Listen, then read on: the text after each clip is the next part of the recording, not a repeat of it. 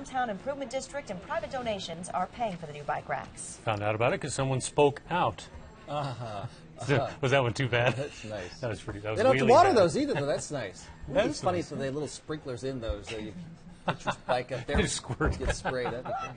Uh, this beautiful weather uh, looks like it lasts for a couple more days here. Mild temperatures, 42 at 9 this evening. We've got clear skies. Temperatures dropping quickly early this evening, and no precipitation close by the area. Nebraska, Iowa, Missouri, Kansas, South Dakota, nothing. Yet the East Coast suffering again another nasty storm. The center of this one is swirling out here. It's going to stay just offshore, but look at that snow in many of these interior locations, and many folks still without power there, and they're going to be below freezing, and oh, just a nightmare.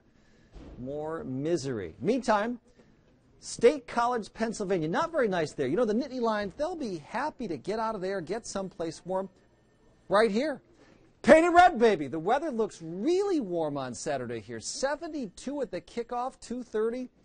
Gusty south wind, partly sunny skies. Now there is a chance that by late in the game, fourth quarter, showers and thunderstorms could erupt ahead of a cold front. Mid 70s in early November in Lincoln. Yet 45 at 7, 42 at 9, 40 at 11, and mid 30s by tomorrow morning. So we've got a big warm up ahead of us.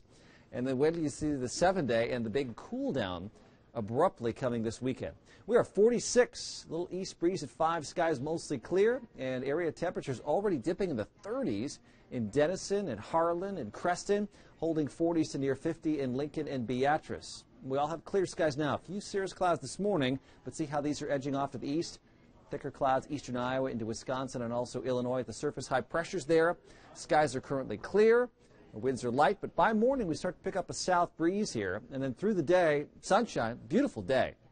There's a little front that'll edge down in here from the north tomorrow night.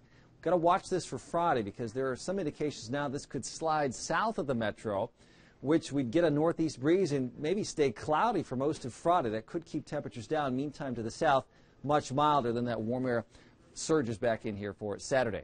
42 at 9, clear skies this evening. Later on tonight, a low temperature of 35. That's cool. Uh, it's about average, though, for this time of the year. As we're November now, and the nights are long. There'll be a little breeze, so 37 kind of chilly at 8 a.m. tomorrow, but 62 at 3 o'clock, mostly sunny and a very pleasant afternoon, although there will be a south breeze. The nice thing about today, the winds were so light. So 62, then 63. Clouds have to be watched there for Friday. Uh, warm day on Saturday. We could have break into partly sunny skies and be up in the mid 70s, but Saturday evening, a high likelihood of showers and some thunderstorms, and this front that comes through will drop temperatures. A high temperature of 39 on Sunday, 30s all day on Sunday. Monday, again, a cold day, so huge change from Saturday to Sunday. And we can blame Canada for all this, right? Absolutely. It's all Canada's fault. Or Penn State.